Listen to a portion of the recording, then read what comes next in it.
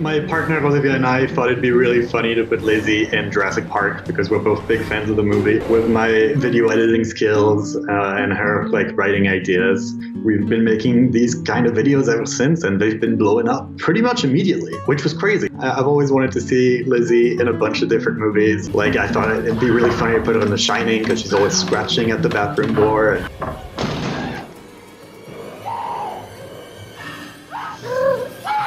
Yeah, the, the royal baby one killed. And it's funny because all I did was wrap Lizzie in a blanket, and uh, I was wearing a, a green a green shirt that I then used uh, to key her head out of the blanket. As the account grew and we gained followers, people started giving us ideas, and so we get a ton of emails asking us to put her in How to Train Your Dragon, Game of Thrones.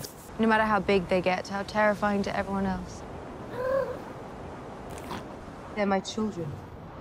I have to really dissect the scenes that I want to put Lizzie in.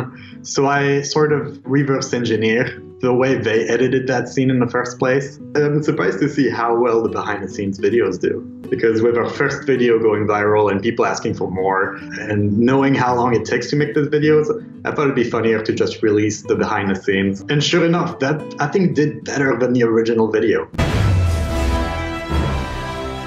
My equipment is such garbage. It's like a rolled up green screen that's all wrinkled, an iPhone on a shitty tripod. It just requires a lot of patience. A cat, you need hundreds of takes. I have close to 10 hours of footage of just me playing with Lizzie in front of the green screen. Trying to get anything actually on command is close to impossible.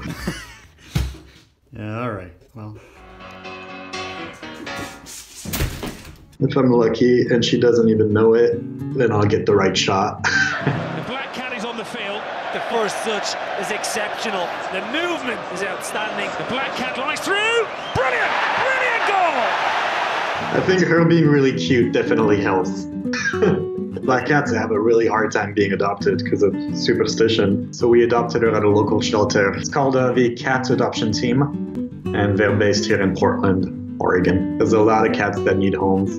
I mean, it's affected my life in a way that I never expected. I don't want it to get bigger, if that makes sense. Like, we can keep growing followers, but as far as starting to appear on TV, going to conventions, I don't want to do any of that. And Lizzie's a house cat. Like, it's a lot of stress for a cat to travel around. So I just love her being at home and me doing videos in the kitchen. And the Oscar goes to. My favorite, Owl Kitty.